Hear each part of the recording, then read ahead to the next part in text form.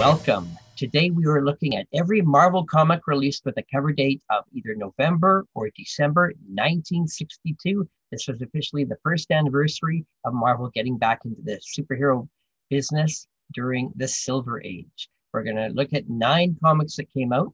November 1962 was the first month of the Silver Age that Marvel put out five superhero related titles in a single month.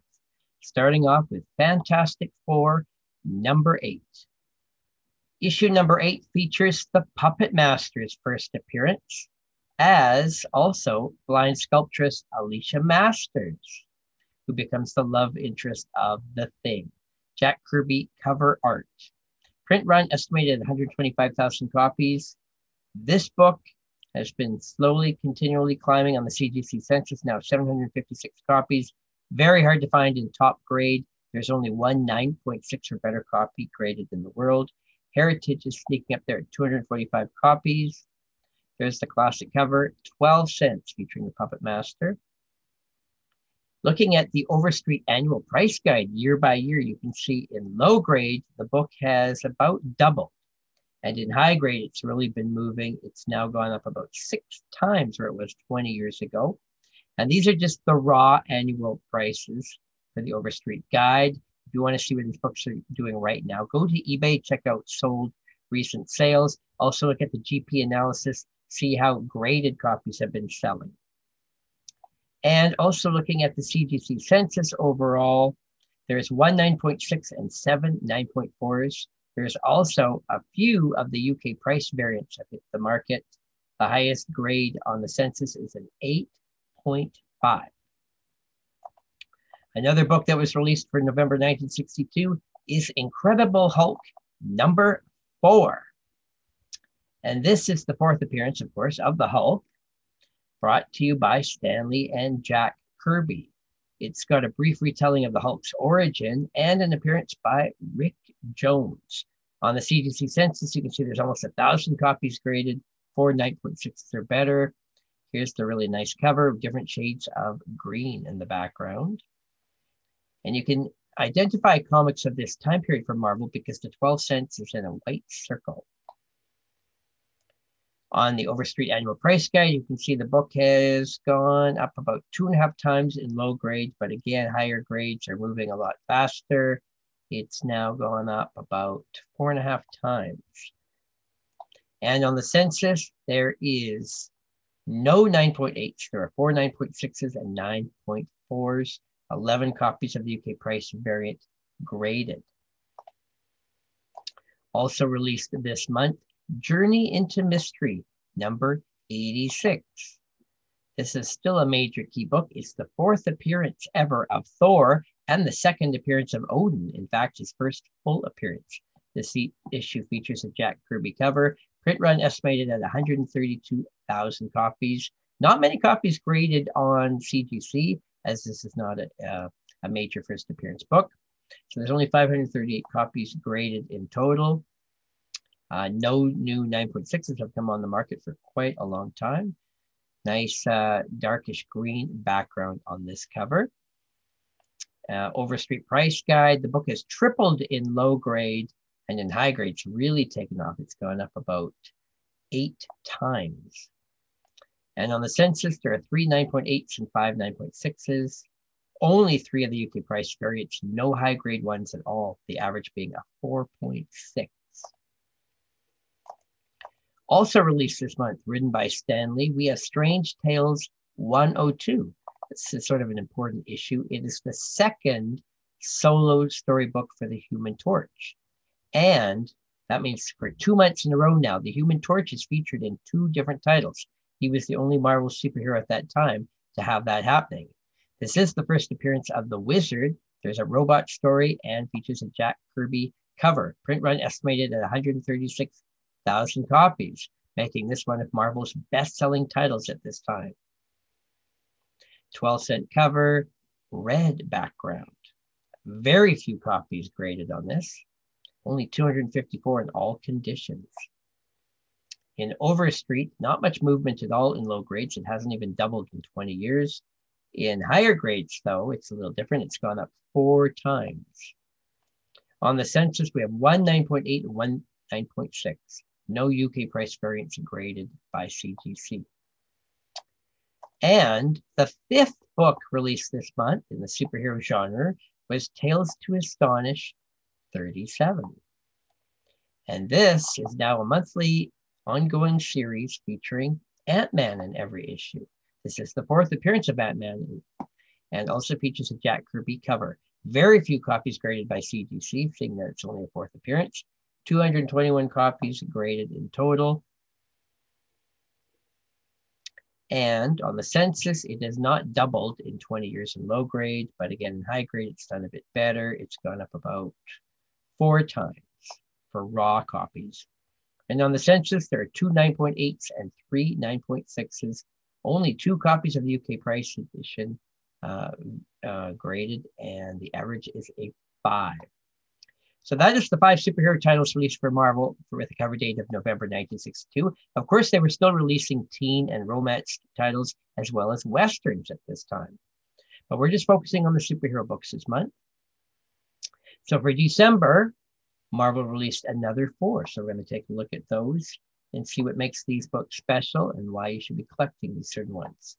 First up is Fantastic Four number nine. This is now a monthly series. It had been bi monthly when it first started.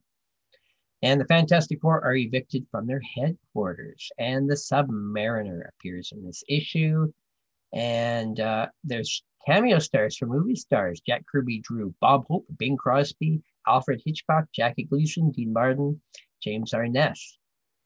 A lot more copies on the CGC census as all Fantastic Four is highly collected, almost 800 copies already. In the Overstreet Annual Price Guide, you can see the book has gone about double in the last 20 years in low grade. High grade, again, moving quite well. It's gone up about six times in raw price. The CGC census has one 9.8 and six 9.6s. And there are seven of the UK price variants graded, with the average being a 5.5. There are no high grade copies at all. Also out this month is Journey into Mystery 87. And this would be the fifth appearance of Thor with Steve Ditko interior art. Only 287 copies graded because this is not a major first appearance book. Solid red background cover, looking pretty nice. In the Overstreet Price Guide, the book is tripled in low grade and it's gone up nine times raw in high grade. And on the census, there's one 9.8 and two 9.6s. There's only two copies graded in total of the UK pence edition, and the average being a 4.7 grade. Also out this month, Strange Tales 103, which again features solo stories of the Human Torch, which means this is his third month in a row of being featured in two different titles. He was the only superhero that Stan Lee was really pumping out month by month. Uh, and Fantastic Four would appear in many of these solo stories. Jack Kirby and Dick Ayers cover an art, backup story from Steve Ditko, and only 149 copies graded on the census in all conditions combined. That's very few. Nice cover. In low grade and Overstreet annual price guide, it's almost doubled in the last 20 years. High grade, it has gone up four times. On the CGC census, there are no 9.8s, but there is a 9.6 and four 9.4s. The highest of the UK price variant is a 7.5. And finally, the last book of the year is Tales to Astonish 38. And this one again, is Ant Man's monthly series. So this features the fifth appearance of Ant Man and the first appearance of Egghead. Features a Jack Kirby cover. Kirby was sure busy at this time, drawing nonstop covers. And again, not many copies on the census, only 228 in all conditions. There are seven 9.6s or better. Kind of a pinkish background on this one, featuring Egghead on the cover. In the Overstreet price guide, we can see the book has not quite doubled in low grade, but it has gone up about four times in high grade raw. And on the census, we have one 9.8 and six 9.6s. There's only one of the UK price edition variants graded, it is a 6.5. So there you go. That is the nine uh, comics released at the end of 1962 for Marvel. Let's just do a quick study of the uh, CGC census and see what notes we kind of notice on here of interest. So you'll notice that the book with the most copies graded is actually Incredible Hulk. Number four, 988 copies graded, but the average is only a 4.8. There are no 9.8. So notice that there are a number of books on here that don't have a 9.8 at all. The most common with 9.8s is Journey into Mystery 86. There are three 9.8s. But Strange Tales 103, Fantastic Four 8, and The Incredible Hulk 4 and 5 do not have any. What else can we notice on the census? The book with the least copies graded is Strange Tales 103. Only 149 copies at all graded in any condition. But that brings its average up. So interestingly, the book that has the most copies graded has the lowest average grade. And therefore, the book with the lowest number of copies graded in total uh, has the highest average grade. So that's something to keep in mind. Um, the lowest, yeah, is Hulk. Number, well, actually, four and five are really low, right? Less than a five is the average grade. Notice that all of these books, uh, near mints and very fines, are there's just not many of them at all. So there you go. We're learning a bit more of Marvel history, seeing what Stan Lee's creating month by month. It's quite fascinating to watch. Of course, watch my series. We're doing this every week. We're going through the entire history of the early Marvel Silver Age superhero books. Thanks for watching. Check out more of my reports at terryhoknes.com. I have lots of other great historical and investing videos posted, and learn more about comic books and collecting at CBSI at comicbookinvest.com. Thanks for watching.